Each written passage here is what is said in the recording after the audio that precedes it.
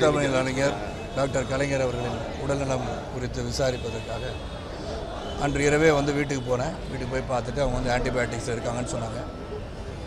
சற்றே பின்னாடி வந்து நேற்று தகவல் சொன்னவுடன் அவர் மீண்டும் சீரம் சீரமைக்க நல்ல மருத்துவ உதவியுடன் மருத்துவ உதவியுடன் சிறப்பாக இருப்ப- இருக்கிறார் நலமாக இருக்கிறார் என்ற செய்தி உண்மையிலே மகிழ்ச்சியாக இருக்கிறது.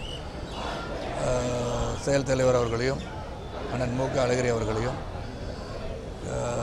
கனிமொழி அவர்களையும் தமிழ் அவர்களையும் அம்மா ராஜாத்தி அம்மா அவர்களையும் குடும்பத்தார் அனைவரையும் அமைச்சர் பெருமைகளையும் சந்தித்து நலன் விசாரித்தேன். தலைவர் அவர்கள் நல்ல குணமடைந்து வருகிறார் என்ற செய்தி மகிழ்ச்சியாக இருக்கிறது. நல்ல குணமடைந்து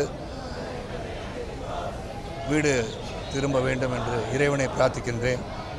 அவர் செய்திருக்கின்ற தொண்டு தமிழுக்கு செய்திருக்கிற தொண்டு தமிழ்நாடுக்கு செய்திருக்கிற தொண்டு ஐந்து ஆண்டு முதலமைச்சராக இருந்து சிறந்த தொண்டாற்றிய கலைஞர் அவர்கள் நீடூழி வாழ வேண்டும். அவர் உடனடியாக குணமடைந்து வீட்டுக்கு வருவதற்கு அனைவரும் பிரார்த்தித்துக் கொள்ள வேண்டும் என்று நான் கேட்டுக்கொள்கிறேன்.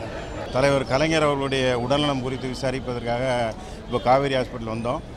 தளபதி மு க ஸ்டாலின் அவர்களை சந்தித்தோம் தலைவர் உடல்நலம் தேடி வருகிறது. ரொம்ப சீக்கிரமாக அவர் குணமாயிடுவார் அப்படின்னு சொல்லி ஒரு நம்பிக்கை தெரிவிச்சிருக்காரு. எங்களுக்கும் அந்த நம்பிக்கை இருக்குது வெகு சிற வெகு விரைவில் தலைவர் பூர்ண நலம் பெற்று திரும்பி நம்முடைய உரையாற்றுவார். நம்மை சந்திப்பார்ன்ற நம்பிக்கை இங்கே இருக்குது நாங்களும் இறைவனை வேண்டிக்கிறோம்.